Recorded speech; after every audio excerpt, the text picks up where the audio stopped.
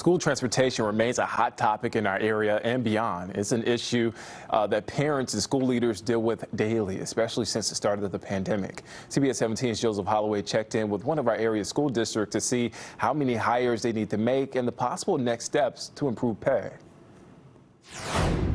Just about every industry has faced a staffing shortage in recent years, and that includes bus drivers for Triangle area schools.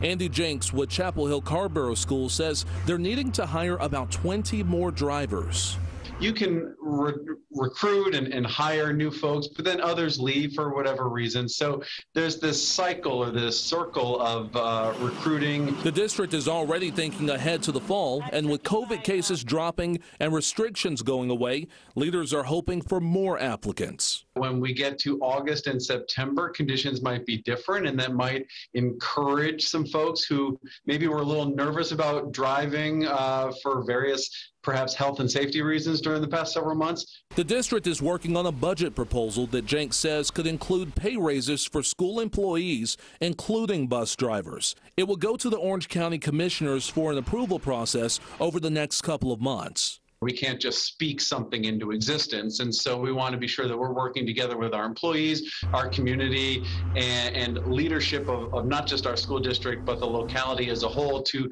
do what's right. Jenks says no matter what happens, every student will have a ride to school every student who needs transportation is getting transportation on the, on the school bus. Joseph Holloway, CBS 17 News.